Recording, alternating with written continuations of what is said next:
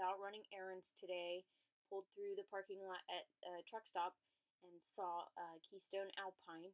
I got really excited because it looked like it had a front window or front windshield. So I legit, is that what the kids say? I legit Googled Alpine floor plans while I'm there in the parking lot.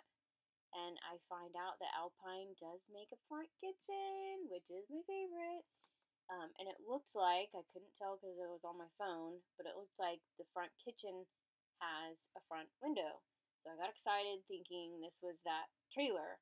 So I pulled over to take a look at it and I realized that it wasn't. It was a front living, which is nice and all, but now I'm like obsessed with this Alpine and I want to find somewhere to check it out in person. So there's a little tidbit of info for you there when you're shopping for RVs. You can usually see the model number near the entry door on the trailer. So model numbers, they're going to be a combination of letters and numbers. Um, usually that number would give you some indication of the length of the trailer.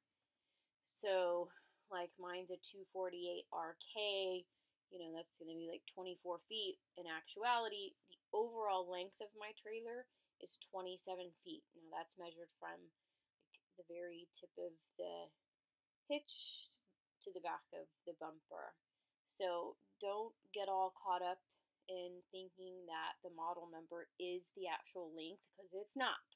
So make sure that you get like the actual specifications you know, for the trailer if you're trying to fit it in a garage or a carport or in a driveway or something like that.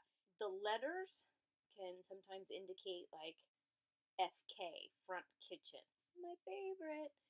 Uh, RK, rear kitchen, another solid choice. BH will usually indicate some sort of bunkhouse with bunk beds. But here again, the letters don't always mean something significant. So look at the floor plan and focus on what you really want. Don't worry about what the letters and the numbers are.